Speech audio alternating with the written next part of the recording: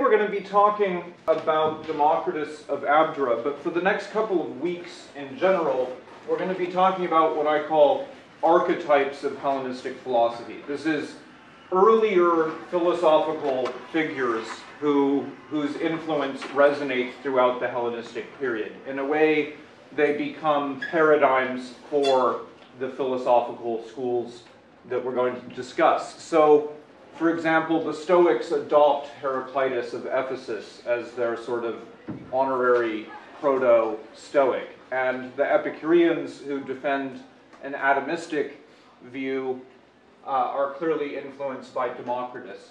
The influence of Socrates is the most widespread, and I'll discuss how that is. His influence not only in the Stoics, but also on skeptics, cynics, etc. We'll discuss that next time we meet. We'll also talk about some people, uh, Diogenes of Sinope, the Cynic, Aristippus of Cyrene, who uh, founded a school of hedonism quite a bit different than that of the Epicureans. And then, of course, um, Aristotle, whose a, a, school was founded inspired by him in the Hellenistic age called the Lyceum or the Peripatos. And then Pyrrho of Elis and his influence on a form of radical skepticism called Pyrrhonian skepticism. So for the next two weeks, uh, two or three uh, two weeks, we will be talk, going through these figures and talking about how they influenced um, Hellenistic philosophy. And we'll mostly be doing so on the basis of reading chapters out of this obscure book by a guy named Diogenes Laertius, about whom, other than the fact that he wrote this source book of biography and doxography about ancient philosophers, we know nothing. So we don't know that he looked anything like that. Completely fanciful drawing of him in a, in a, in a uh, later textbook. We have no idea what he looked like, where he came from, what his education was, what his own philosophical views were. Nothing. Okay, and he's a very late writer, third century of the Common Era, you know, third century AD.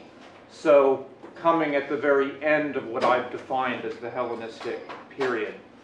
And he wrote this massive biography. It's in 10 books, and each book is divided into about 10 chapters, each of which deal with a different philosopher. Uh, and since most of the philosophical writings from ancient Greece have been lost, it turns out that we depend on Diogenes Laertius for a lot of what we know about these other philosophers.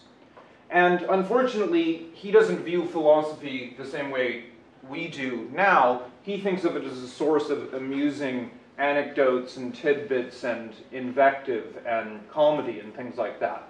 So his entire purpose in putting this biography together is a lot different than you know trying to get to the bottom of the nature of the universe or of what one should do ethically and so forth. But we need him as a source for these earlier philosophers and so in the supplementary readings, the next four readings are the chapters on these philosophers I take to be archetypes of Hellenistic philosophy in Diogenes Laertius.